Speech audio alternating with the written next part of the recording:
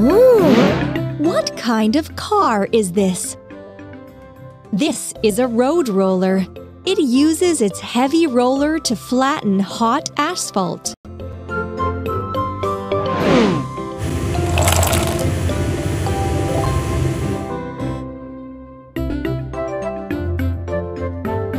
Try to put this vehicle together. Wheel Wheel. Engine and steering console. Exhaust pipe.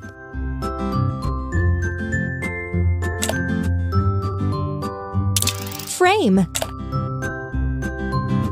Roller.